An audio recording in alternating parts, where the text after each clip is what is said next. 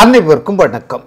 நாட்டில் அவ்வப்போது ஏதாவது போட்டிகள் நடத்தி வெற்றி பெறுபவர்களுக்கு சன்மானம் அளிப்பது அந்த மன்னனின் வழக்கம். ஒருமுறை அமைதி என்றால் என்ன என்பது குறித்து தத்ரூபமான ஓவியம் வரைபவர்களுக்கு மிகச்சிறந்த பரிசு வழங்கப்படும் என்று அறிவித்தான். இதையடுத்து நாட்டின் முன்னணி ஓவியர்கள் அமைதியை பிரதிபலிக்கும் வண்ணம் தத்ரூபமான பல ஓவியங்களை வரைந்து அரண்மனைக்கு எடுத்து வந்தார்கள். மன்னன் ஒவ்வொரு ஓவியமாக பார்வையிட்டுக் கொண்டே வந்தான். அமைதியை ஒவ்வொரு ஓவியரும் ஒவ்வொரு மாதிரி பிரதிபலித்திருந்தார்கள்.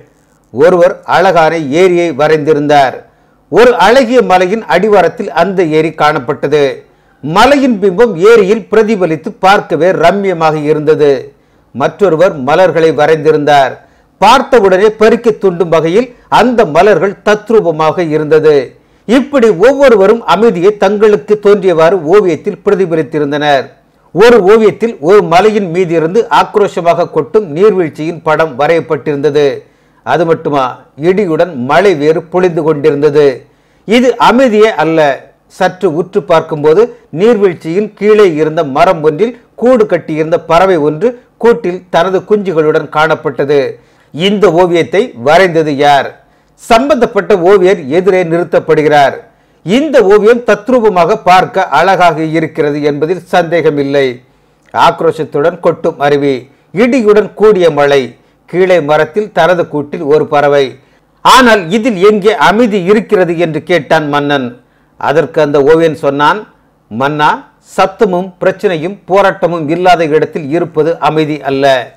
இவை எல்லாம் இருக்கும் இடத்தின் நடுவே இருந்து கொண்டு எதற்கும் கலங்காமல் எதுவும் தன்னை பாதிக்க விடாமல் பார்த்து கொண்டு உள்ளுக்குள் அமைதியாக இருப்பதே உண்மையான அமைதி. அப்படி பார்க்கும்போது குஞ்சுகளுடன் இருக்கும் இந்த பறவையே பரிபூரணமான அமைதியில் இருக்கிறது என்றான் அவன்.